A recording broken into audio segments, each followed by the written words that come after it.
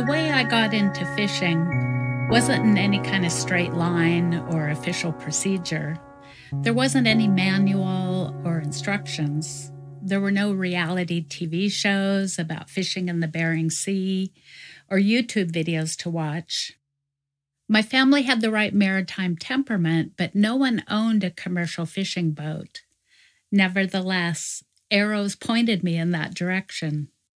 Waiting to talk to the right person, I watched, asked questions, and had conversations.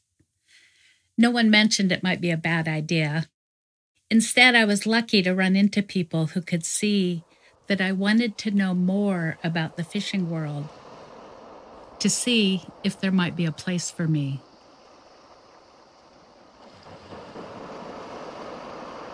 Back home on San Juan Island, I took a shortcut through my neighbor's woods. In the weeds covered with a foot of dead leaves was a 13 foot wooden skiff with a rusted out motor.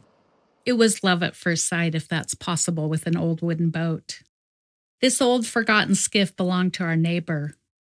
I'd known him forever, and though we weren't particularly close, I felt comfortable enough asking him about the old boat out in the woods.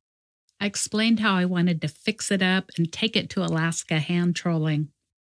We sat in his pickup truck and he smiled and reminisced that he used to hand troll in Alaska. He lived on a beach and fished out of a skiff somewhere near Point Baker.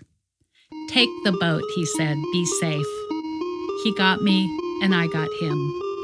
I promised to return his boat at the end of the season.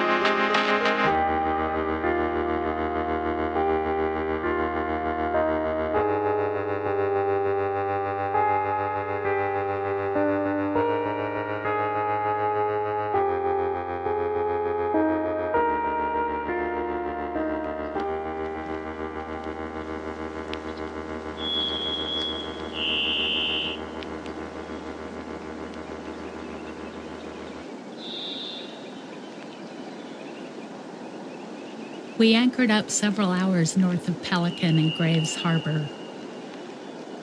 The bay was just as it had been for the past 10,000 years, since the glaciers had melted off. It was close to midnight. In Alaska, the summer sky only dims to lavender. The air was thick with salt. Fog hung in the mountains that rose straight up out of Graves Harbor. I felt like I was part of a landscape from an ancient Chinese scroll. Solitary birds called to each other across the bay. A single, unwavering note, one trill, then another note just slightly higher or lower that cut through the heavy marine air.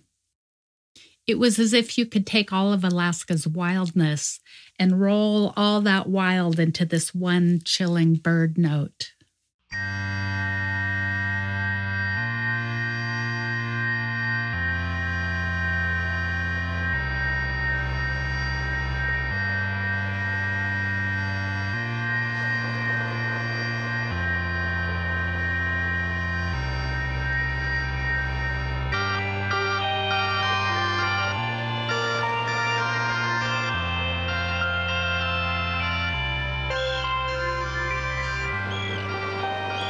Each spring, Carl joined the migration north to Alaska to salmon fish and returned each fall to overwinter in the fresh water of Union Bay at Fisherman's Terminal in Seattle. When I started out with my own fishing boat, I looked up to fishermen like Carl. His long career reached back to another time in the fishery, before quotas, before freezer boats, for that matter, before electronics. If he had to, Carl could have navigated anywhere in the fog with only a compass. I met Carl at Fisherman's Terminal, where he kept his salmon troller, the Grace, during the off season. He wore a gray Woolrich jacket and leather deck shoes, both of which he bought at Seattle Ship Supply, the only store where Carl shopped. His boat was a classic 38 foot double ender, white with gray trim. The deck was painted deck red. Everything about the Grace was shipshape, like Carl. His boat had the kind of elegant lines that would make anyone with the slightest streak of adventure want to drop everything and go salmon fishing in Alaska. I don't remember seeing Carl in greasy work overalls, like every other fisherman at the docks. There wasn't a streak of rust or any paint that needed redoing. The grace never seemed to age. It was as if there was a perfect equilibrium between the boat and Carl. He took care of her, and she took care of him.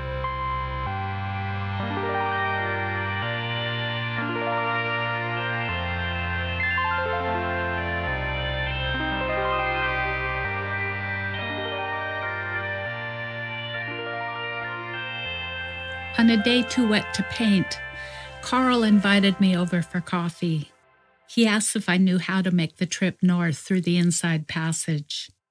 Down in the forecastle, he unrolled his well worn charts, charts with coffee stains and his own meticulous notes.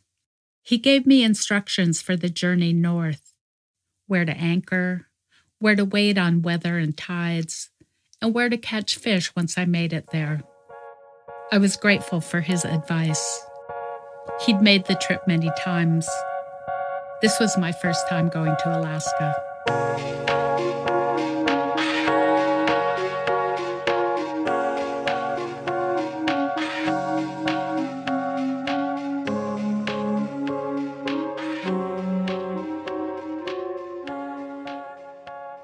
The Inside Passage was a legendary route, starting in Puget Sound and going up between the coasts of British Columbia and Vancouver Island and north into Southeast Alaska.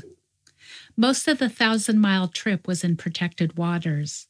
A couple of sections traversed open ocean Queen Charlotte Sound and Dixon Entrance. There were anchorages on either side of Queen Charlotte Sound for boats to wait on good weather places like God's Pocket, a crummy little anchorage with a great name.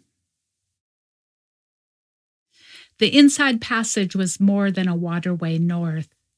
It was part hero's journey, part escape route, part promised land full of pots of gold, part end of the line, and a long way from civilization. And for fishermen, heading north up the Inside Passage was the start of the season. In my parents' time, Hansen's Handbook, a piloting guide, was still in use. Instructions detailed how far between buoy markers, how many intervals a light blinked, and even 19th century style drawings of what certain passages looked like, which helped mariners find their way. For me, the inside passage was a trail of breadcrumbs left by my parents, a way to communicate with them, though they were gone. It was their invitation north to maritime adventure.